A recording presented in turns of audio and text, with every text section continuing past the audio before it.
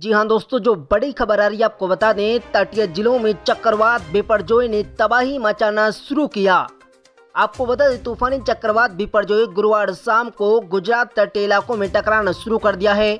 भारतीय मौसम विभाग ने बताया कि बेहद गंभीर चक्रवाती तूफ़ान अभी 115 से 125 किलोमीटर की रफ्तार से सौराष्ट्र और कच्छ के तट पर पहुँच रहा है। बताया जा रहा है कि तूफानी चक्रवात को जखाऊ पोर्ट तक पहुँचने में दो घंटे लग सकते हैं। और ये प्रक्रिया पाँच से छह घंटों तक चलेगी।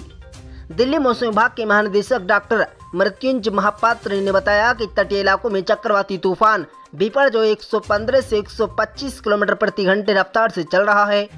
गुजरात के तटीय इलाकों में काफ़ी भारी बारिश हो रही है। कई इलाकों में बेहद तेज हवाएँ भी चल रही हैं। मौसम विभाग ने बताया कि तट से टकराने के बाद चक्रवात आगे बढ़ जाएगा। वहीं 15 जून से 16 जून तक ही चक्रवात पूरी तरीके से समाप्त हो जाएगा। आशंका जताई जा रही कि इतने ही समय में तटीय इलाकों में काफ़ी नुकसान हो जाएगा। कुछ स्थानों पर तूफ़ान की लहरों से तीन से छह मीटर तक ऊँची जा रही हैं। तट के किनारे की मिट्टी और घुस के घरों की पूरी तरीके से नष्ट होने की संभावना जताई जा रही है, जबकि स्थायी कंक्रीट संचारकों और पक्के भवनों के क्षतिग्रस्त होने की संभावना है।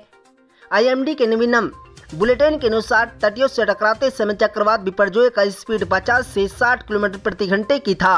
लेकिन अब इसकी रफ्तार 125 से 150 किलोमीटर प्रति घंटे की संभावना है।